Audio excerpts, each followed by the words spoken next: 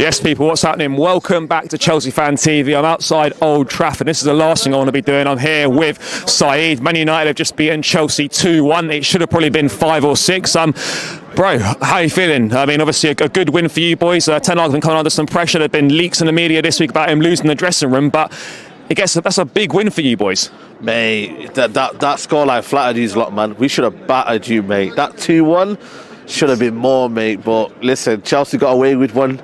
But the, the biggest question we have to talk about today, though, is um, has anyone seen Enzo, Fernandez? Bro, we can throw Moises Caicedo in there as well. What's up? Amrabat's calling. Yeah, yeah, he said he's in my back pocket. Yeah. okay, say no more. When are you going to release him? Oh, okay. When, when, okay, say. Cool, cool. Yeah. Just let me know that Enzo Fernandez Oh, scored. yeah, Yeah. cheers, yeah, yeah. Uh, but listen, man, listen. We dominated the game. You had about a 10 minute spell in the first half. Bro, 10 minutes, that's generous. For about five, maybe, Yeah, maybe, five, maybe, yeah, maybe, yeah. maybe the stoppage time, five. Yeah, maybe, maybe, five, it's time. five. We could- Apart from that, mate, bro, we we'll take five. absolutely dominated. We had about 30 shots. We peppered your goal. We missed a penalty. You know, I'm trying to say to you, we just pressed the hell out of you. Like, Poch did not have no answer. Uh, for Ten Hag, and you know what Ten Hag got the, the tactic spot on. He just he just presses from the front. Amrabat squeezed everyone up. We just literally compressed you lot into one area that Enzo Fernandez couldn't come out. Caicedo, every time you had the ball, you were so shaky. You couldn't play out from the back. You couldn't have your rhythm you know, Cole Palmer, who I thought was your best player for me, in my, in my opinion, couldn't get into the to the to the pockets and whatnot. Sterling was anonymous again. You know, I'm trying to say to you. So for me, I can't ask for more. All I can ask for is more goals. That's all I can ask for me. More goals, but. Listen, we get the three points, and it's still a big three points against Chelsea. But you lot are bad, man. Listen, I, I know I can see it's only early on with Poch, and it's, it's too early to probably scream Poch out. But bro, like you, you didn't really do like you didn't really do nothing. Like you had a couple of chances in the second half where I thought, you know, what's his name, the Jackson guy, bro. I don't know what's what he's. Brother, what's he- brother, brother, brother, his misses are, are like, like there, I think there was a header like from a corner or something, or like Yeah. whatever it was. I don't know what It- it yeah, it, it, it was bad. Like, mate, we had nothing today. But I mean, like, just before we get on, before I get your thoughts on Chelsea, mate, like, do you think this win could be a turning point for Ten Hag? I mean, you got you got a, you got a big week coming up. I mean, Champions League coming up soon against Bayern. Maybe you Yeah. might get through that or whatever. You've got you know Premier League games coming thick and fast. I mean, you're not, despite all the. I mean, I've said it a lot this season that United have been terrible, but they still find a way to, to grind results out Yeah.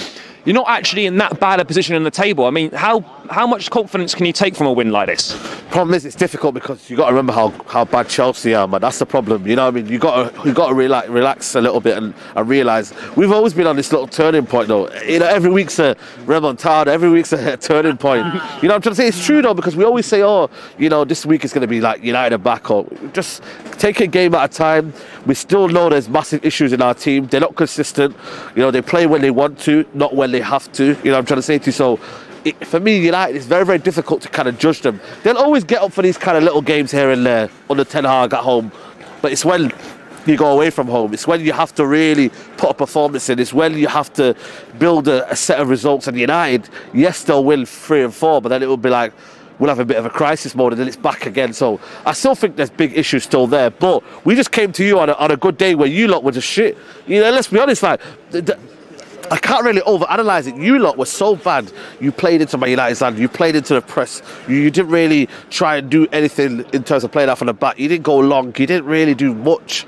You know, every time you got the ball, you looked so clueless. You looked so clumsy playing out from the back. You know, decisive was all over the place. I mean, you, you know. You, you, you struggled in 50-50s as well. You know what I mean? The the tackles were not there. You didn't win any of the kind of lost balls and whatnot. So I just thought to me, yes, you're right. I just thought for me, like Chelsea just did not battle enough. You know, in these kind of games, you got to show battle, and I felt for me, Chelsea didn't do that. Bro, the midfield battle, I was saying it before the game, this was so key. I, I mean, look, look, yeah. I.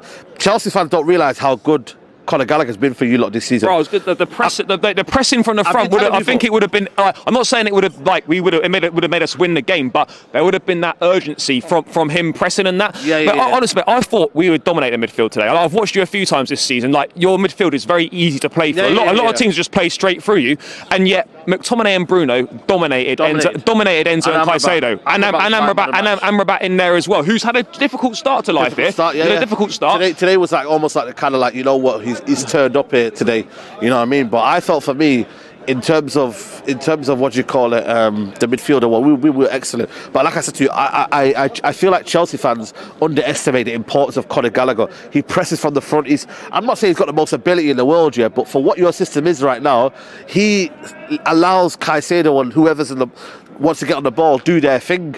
Without him, he doesn't re- lead the press. I think Cole Palmer, for me, better out wide than he is in central, even though he's still got the ability to score and pick up a little bit of pockets. But I just thought for me, you miss a little bit of bite in that midfield. And yeah. listen, you've got a lot of players out, but still no excuse though to play like that, like you did no, today. Bro, like, you know? that's the thing. Like everyone's got and just players out. Yeah, you can say that, but oh, ultimately, like what we had out on the pitch today, like that was good enough. That was good enough to at least yeah. do something. To, so it's, it's not it's not an excuse like to not turn up and just do the basics, mate. Yeah, from, from no, minute from minute one, mate, we were second best in everything. Everything, every, in everything. Every like every de- every department. And do you know what? Like I look at it, like, and I, I, I do believe in what we're doing. I do accept that you know you can't build a football team like over like in, in, in a few months. But at the same time, when you have results like this and performances like this, when the whole hmm. team is horrendous, everyone is fucking dreadful.